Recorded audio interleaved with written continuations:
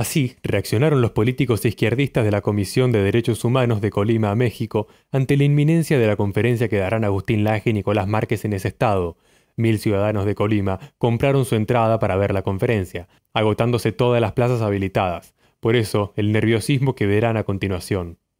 La Comisión de Derechos Humanos del Estado de Colima, así como integrantes de su H consultivo ciudadano, manifestamos nuestra preocupación porque en la tarde de hoy, lunes 17 de junio, se llevará a cabo la conferencia que se ha denominado El peligro de los falsos derechos, desconstruyendo el feminismo radical, la ideología de género y el aborto.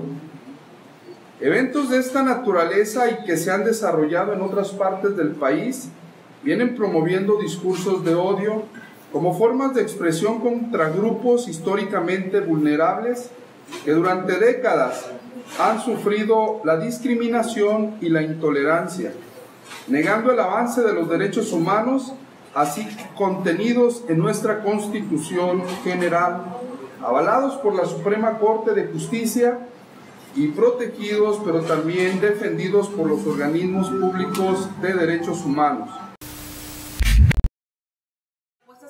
Que no permitan el evento? No se permita, que no se lleve a cabo porque está acreditado que sí está atentando contra los derechos humanos, particularmente con las de las mujeres y las personas de la diversidad sexual.